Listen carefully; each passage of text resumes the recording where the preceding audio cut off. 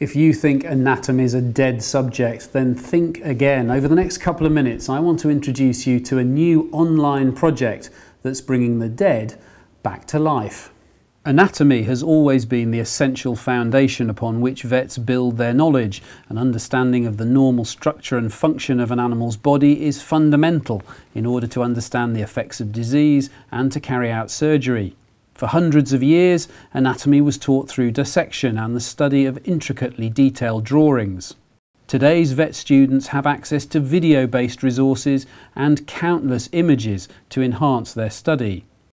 Until now, what's been missing is a means of being able to interact virtually with specimens. Recently, a project involving all of the UK and several other worldwide vet schools has been underway, aiming to bring together the next generation of anatomy teaching. This project has helped form a virtual collection of some of the best anatomy teaching tools ever available.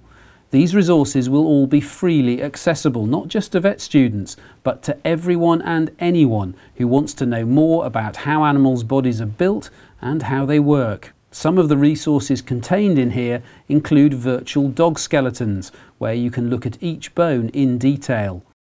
You can click on particular structures to find out more information. There's also a virtual horse's foot that you can examine in detail. Per Carlson created this resource. So we wanted to make a 3D model of the horse's leg that could be made available online for free for everyone to use and enjoy. Uh, and to make this model, we used actual MRI images from the hospital. And the result is a interactive experience for users to use to learn about how a horse's foot is built up. And just to show you how it works, uh, the model can be very easily manipulated. you can rotate it around, you can zoom in and out, and you can remove structures to look at the underlying um, bones and ligaments and so on. And if you want to learn more about a certain structure, you click on it and you get a description about the structure and you get photos, videos, and you can even be asked a few questions about the anatomy.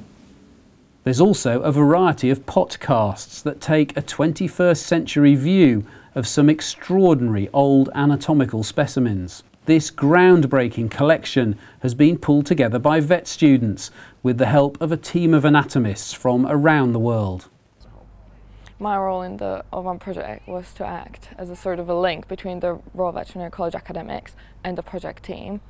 And myself, I also created a resource which is to be incorporated into the project. And it's about the biomechanics of the equine foot. I think it's going to be very useful for students to have everything in one spot.